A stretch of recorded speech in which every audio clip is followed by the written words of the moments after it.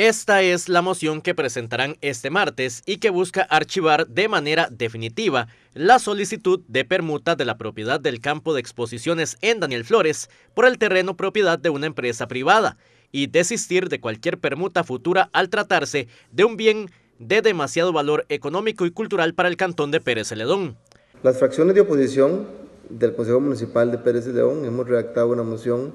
la cual presentaremos hoy 13 de julio en sesión de Consejo Municipal,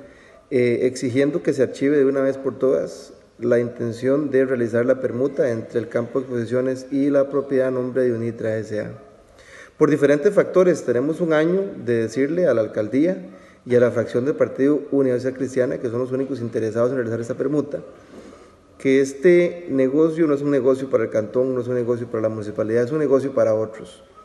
Eh, hemos criticado los avalúos, hemos criticado eh, la falta de requerimientos y de estudios que existen alrededor de esta permuta.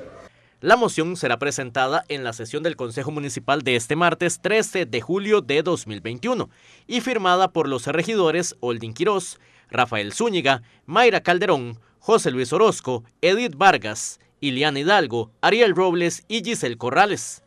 hemos estado totalmente en contra de que la municipalidad se deshaga de un terreno tan valioso en materia económica y en materia cultural y en materia histórica. No tiene por qué la municipalidad deshacerse de un terreno que tiene tanta proyección y del cual se podría aprovechar en tantas cosas. Em,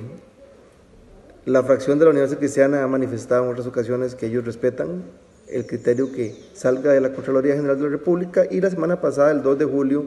recibimos eh, el criterio de la Contraloría indicando que no autoriza esa permuta, eh, criticando los avalúos, eh, criticando que no se realizó por parte de la, de la, tributación,